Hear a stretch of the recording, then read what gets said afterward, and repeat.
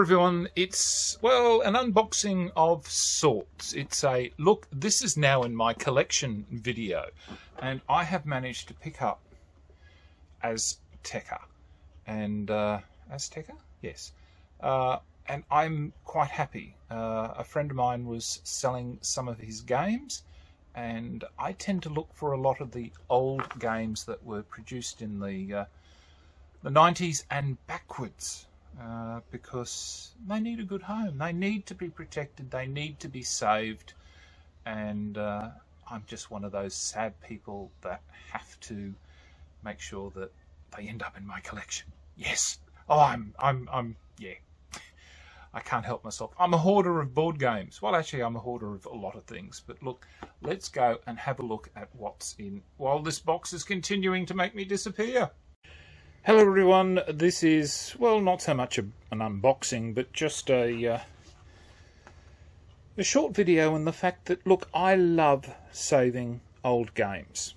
And uh, whether or not they are competitive or exciting or balanced, dare I say it, it doesn't really worry to me because all I know is that this delightful game has now entered my collection where it will be preserved as well as it can be here in uh, in Queensland where the uh, sadly our high humidity does make it very difficult for there to be a, uh, a life expectancy for a lot of uh, uh, paper paper products. So but look here is this is the uh, the rule book I've not played this game. I've no idea how it will play, but uh, you know, I just friend was selling it. I shoved my hand up immediately and went, "Look, I'll I'll take them, please," and uh, very very happy. So,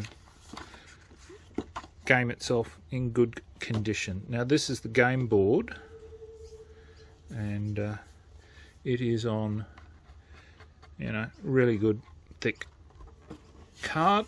Now, let me see if I can get this, how much of this I can get into, get into shot. So, quite nice. Again, I've no idea how this wonderful game plays, but it's now, it's now in my collection, so I'm really happy. And here we have everything everywhere. So we've got the cards, you know, fairly oh, well, fairly indicative of the times when this was printed. The card quality is quite good. So again, I would more than likely sleeve these uh, just to preserve them.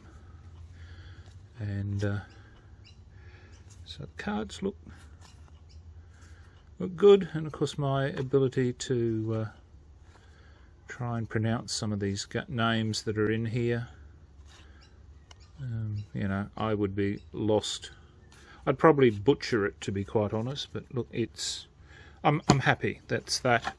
We have some tiles for uh, for things, so I'm not sure how that works. So that's those. We've got some. Oh yeah, boards of some sort. Then we have, what have we got down here? Some more cards by the looks of it. So that's, again, card stock is nice. The cards are nice. I, I can't, cannot object. Look, there's some dice. Some, uh, some dice two sets by the looks of it so perhaps it's an adversarial type game where two lots are rolled, or maybe I don't know. Look, I'm talking out of my backside again. So, um, but no, looks looks good for the dice. Oh, look, we've even got.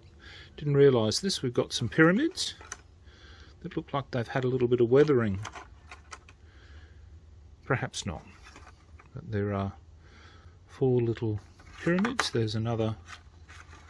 Oh, we've got another a standard six-sided dice. So they look, they're quite nice. Uh, some standees. So I, uh, I'll have to give that a bit of a save, I reckon. try and uh, fix that issue up. I'll do that later.